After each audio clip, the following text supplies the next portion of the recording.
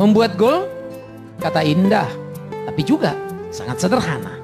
Karena itu ingat, membuat gol bukan asal kata. Membuat gol bukan sekedar menyebut cita-cita. Membuat gol penuh dengan perhitungan. Mengenal siapa diri. Sejauh mana kemampuan yang ada dan apa yang ingin dicapai. Layak atau sekedar pemuas rasa saja tanpa makna dalam kehidupan. Membuat gol harus penuh dengan makna di dalam tujuan. Sehingga pencapaian menjadi nilai yang mempunyai dampak dalam kehidupan.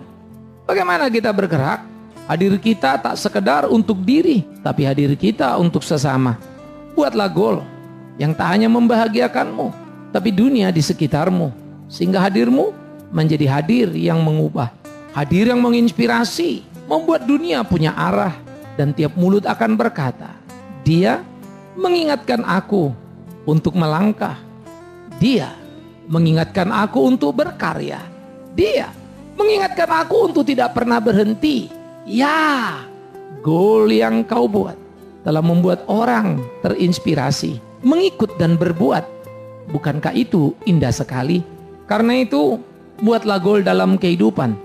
Tapi bukan asal buat supaya tampak indah, mentereng dan gagah. Tapi sejatinya tak pernah bisa diwujudkan karena memang tak pernah cukup kemampuan yang ada pada diri. Selamat membuat gol dengan mengenal diri sebaik-baiknya.